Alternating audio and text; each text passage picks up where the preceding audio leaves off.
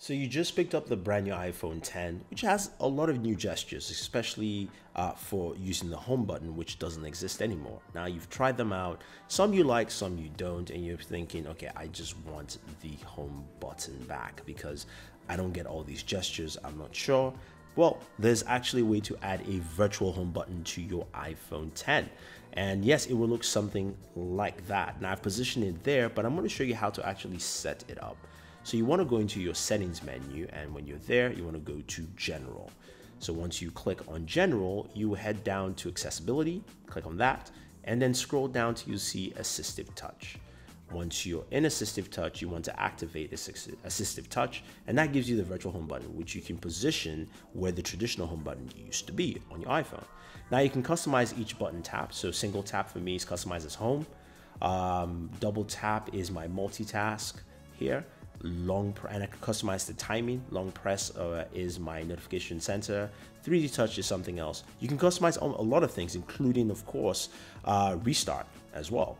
Now you can change the opacity of the button so it's light and see-through like that, or you can make it much darker. it depends on the kind of visibility you want.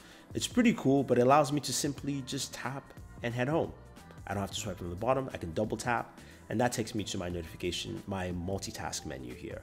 And then if I tap again, takes me home. A long press would take me to my action notification action center. So my action center is long press, uh, double tap is multitask, and I can map it out whatever way I want. And now I have a traditional home button on my iPhone 10, which is great uh, which is great and it's it works for a lot of people that way. Now, this also will work with your lock screen as well. Um, so if you are if you have Face ID on and basically unlock your device, uh, you can basically tap to basically swipe it open. You don't actually have to swipe anymore, you just have to tap and it does that.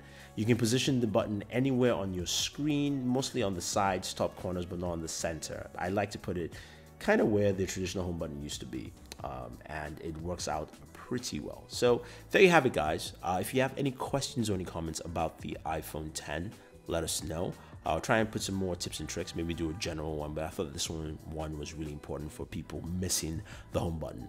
If you also want to uh, check out our wallpaper, we have a link for you down below. You can download our wallpapers and follow me on Pinterest, subscribe to the channel, hit the notification icon, and always enjoy your entertainment.